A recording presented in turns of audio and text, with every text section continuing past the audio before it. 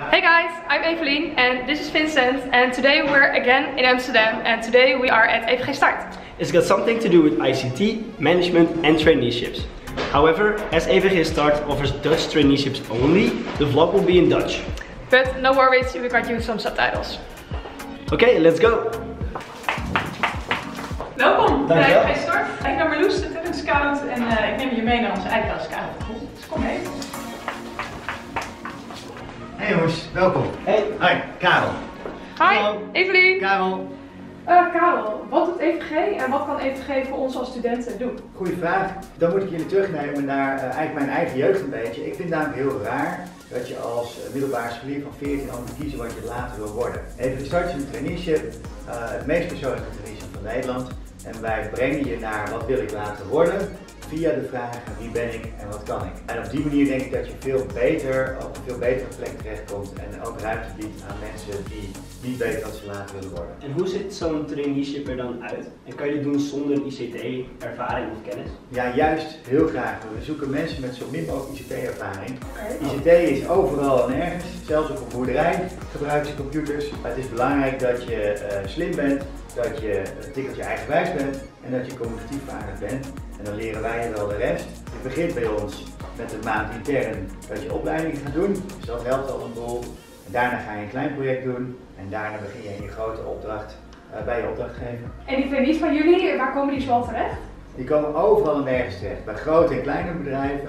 Zo is een van onze alumni directeur van een webontwikkelbedrijf waar 30 mensen werken. Maar we werken ook voor ABN AMRO of T-Mobile of KLM. KLM? Ja, KLM. Go, go, go, go, go!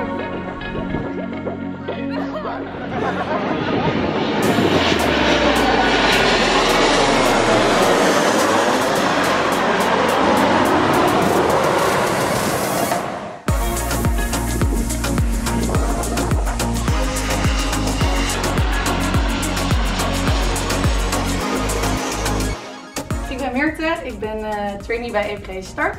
En ik ben 11 maart begonnen bij de KLM, KLM Cargo. Ik begin de dag vaak met een daily. Dat betekent dat we met elkaar gaan doornemen wat we precies hebben gedaan en wat we gaan doen. Voor de PMO-kant ben ik eh, een ondersteuner van mijn manager. En waarom heb je voor EVG Start gekozen en waarom niet direct gesolliciteerd bij een bedrijf? Ik zocht echt naar een plek waar ik mezelf kan uitdagen en waar ik ontwikkeling heb. EVG Start is voor een eh, ICT-traineeship. En wat trekt jou daar zo in aan, in dat ICT? ICT is zoveel meer dan software bouwen, processen uittekenen. Bijvoorbeeld voor mijn change role zit ik heel erg op het commitment kweken van de medewerkers. Je eigen weg kan je, kan je Heel erg persoonlijk. Ja.